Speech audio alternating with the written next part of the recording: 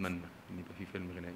نفسي أعمل مسرح غنائي بس في وقت معين مش مش في الفترة دي خالص. ونفسي يكون في ال ال الإنتاج اللي, اللي أنا بشوفه بره في في مثلا في, في لندن لما بخش ال musicals كلها فظيعة الناس كلها بتغني live كل الناس اللي بتمثل بيغنوا live وبيغنوا صوتهم حلو قوي. آه ال- المزيكا المزيكا آه، بتتعزف قدامنا. آه نفسي أعمل حاجة زي كده.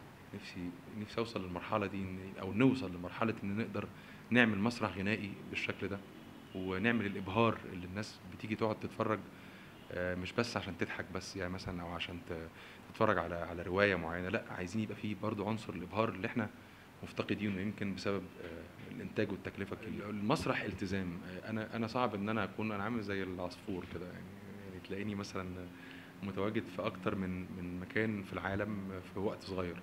فلو أنا لو أنا طبعا بحكم إن أنا مطرب فبيبقى عندي حفلات وأفراح ومهرجانات وحاجات جوه مصر وبره مصر فببقى يبقى صعب جدا إن أنا ألتزم. آه، في في الدراما مثلا آه، بقدر أوفق. يعني بقدر أكلم مدير الإنتاج وأكلم المخرج وأكلم الإنتاج وأقول لهم يا جماعة أنا عندي من وقت كذا لكذا عندي حفلات.